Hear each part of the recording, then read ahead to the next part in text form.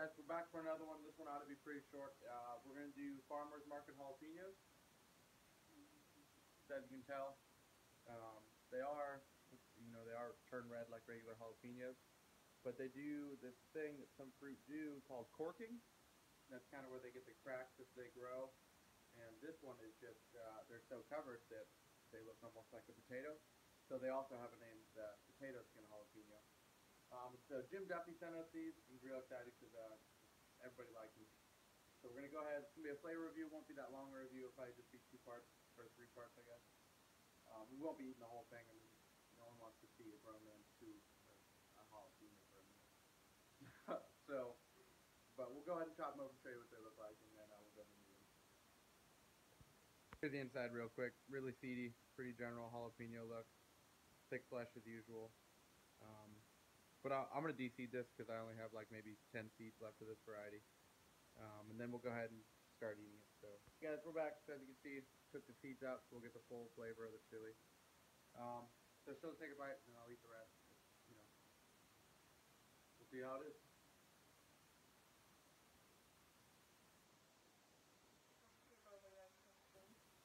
I don't like it. It's not spicy at all. But it tastes super good. It tastes way better than regular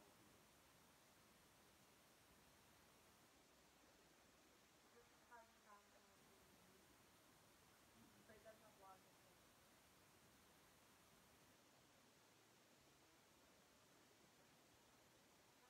Yeah, way, better than jalapeno. Uh, cool note, since it's corked so much, making like jalapeno poppers and stuffing them be way easier because the breading will stay on even easier than it would on regular jalapeno. So really tasty. Um, yeah, not much heat at all, but uh, super tasty. And visually speaking, the amount of corking on these